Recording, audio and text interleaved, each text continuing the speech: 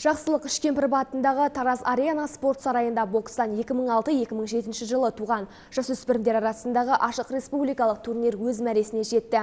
Социалистік еңбегері Әбдір Сағынтаевтың 100 жылдығына арналған додада Жамбыл облысы құрамасы 3 алтын, 2 күміс, 5 қола жүлдеге ие болды.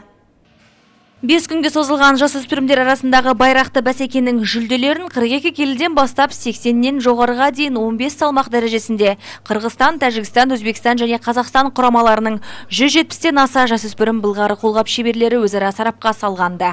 Бұл турнирдің жабылу салтанатына аймақ басшысы Бердібек Сапарбаев пен Алматы қаласының әкімі Әбдір ұлы Бақытжан Сағынтаев қатысып, жас спортшыларға сәттілік тіледі.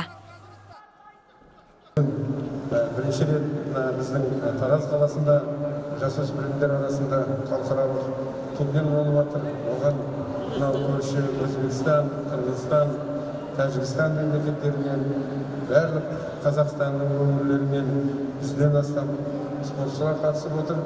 Осының барлығы біз ойлаймыз мынау турнир біздің қазақстандағы бокстың қарай дамуына әсіресе мынау жастардың арасында оған өзінің үлкен септігін көмегін тигізеді деп мен барлық осы өзіміздің жерлестердің атынан осы мынау турнирді ұйымдастырған осы әбдір ағамыздың балдарына мынау бастаған мәкен бар ғалымжан бар үлкен рахмет айтамыз.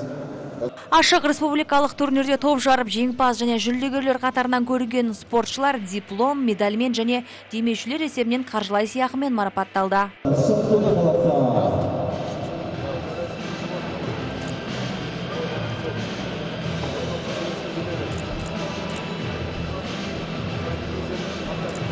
жамбыл облысы атынан осы боксқа шықтым бірінші орын алдым рахмет мен бокс саласында жүрген алты жыл болды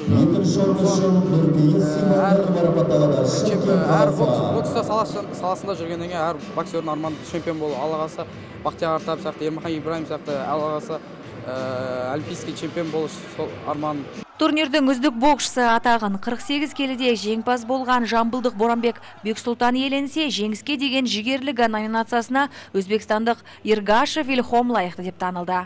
Жібек Жұмаділі қызы, Ғалымжан Исимбаев, Жамбыл Ньюс.